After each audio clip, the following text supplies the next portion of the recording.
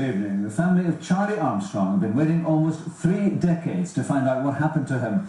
Now, the discovery of human remains in a bog in County Monaghan could end their torment. The 57-year-old father of five went missing on his way to Mass in Crossmaglen in August 1981.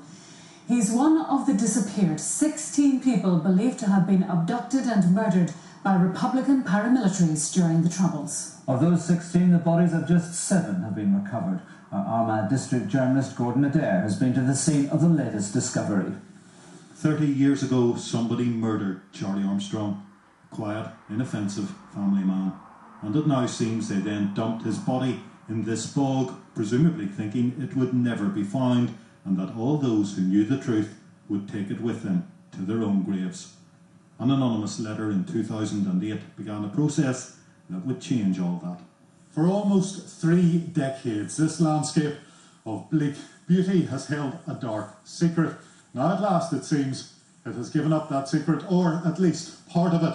The final part has yet to be revealed, with the confirmation that this is, indeed, the body of Charlie Armstrong. But all the indications are that it is. And for the Armstrong family, the hopes now are of a Christian burial, a grave to visit, and an end to a long and painful chapter in their lives. When I spoke to Mr. Armstrong's widow, Kathleen, this morning, there were representatives from the Commission for the Location of Victims' Remains in her home talking her through the events of the past few days. Understandably emotional, she paid tribute to those members of the Commission who she said had worked tirelessly over the years and been a great support to her family. But she said today her overwhelming emotions were relief and sadness the family have always believed Charlie was murdered by the IRA. That's something the IRA, over the years, has consistently denied. I myself see no reason, if, if they did kill him, why they wouldn't admit it. They have admitted killing these other people who were secretly uh, buried.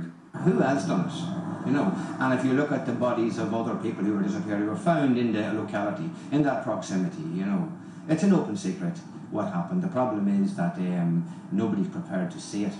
Those other victims were Brian McKinney and John McClory. They too were among the disappeared, and the IRA has admitted it did kill them. In 1999, their bodies were found just a few hundred yards away. Too much of a coincidence, say those who believe the IRA was responsible for all three deaths.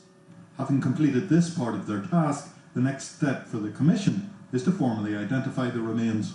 The intention is that the remains should be removed uh, today, brought to Dublin, and for further uh, examination. The state pathologist on that has to uh, examine them, of course, and we'll take it from there then with the DNA uh, aspects. For the Commission, that will mark an ending and, hopefully, for the Armstrong family, a new beginning. Gordon Adair, BBC Newsline, Crossmaglen.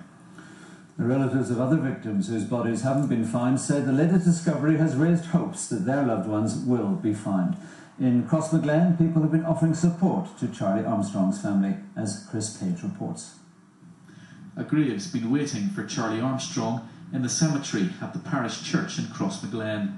Through years of despair, his family always held out hope they'd see him buried back in his hometown. It's now 29 years since Charlie Armstrong disappeared while on his way to Mass. What happened to him has served as a painful reminder of the trauma people in this area had to endure during the Troubles. But now, there's hope that the news of the last 24 hours might bring some closure. The man in charge of the local newspaper says Charlie Armstrong's story has been very much on the minds of people here for nearly three decades. Well, there's a great sense of relief in the community uh, for the Armstrong family that finally, after almost three decades, this thing can be brought to closure and that the Armstrong family can give the father a Christian burial. And the whole community will be very supportive of the Armstrongs in this difficult and very emotional time. If the remains do prove to be Charlie Armstrong's, he'll be the seventh of the disappeared to be found.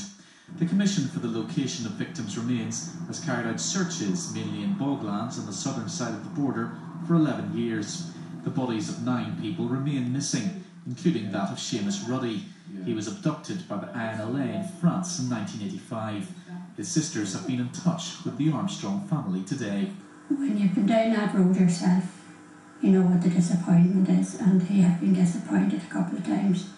So in that respect, you know, I know it's not um, it's good for them, you know, and then they'll be able to breathe now, which is most important. In a sense, I'm delighted, but I'm also very sad because it means that the Armstrong family now have to uh, go through uh, a wake and uh, a burial. But the burial is the most important thing, which I know. And in a sense, they will be happy that he's been found, but they'll be very, very sad. Kieran Megraw's brother Brendan was murdered by the IRA in 1978. His remains have never been found. It's great that there's one, of, one or two of the bodies have been found recently, but it also shows that you know the system in place can help get the bodies back. And that, again, that's as important that people come forward with any snippet of information.